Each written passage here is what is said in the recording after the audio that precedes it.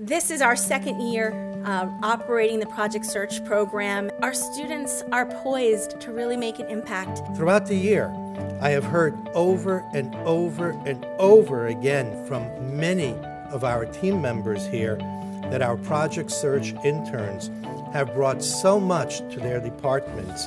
Throughout this internship, the students have acquired employability skills in a variety of settings while maintaining communication skills, and establishing real life experiences.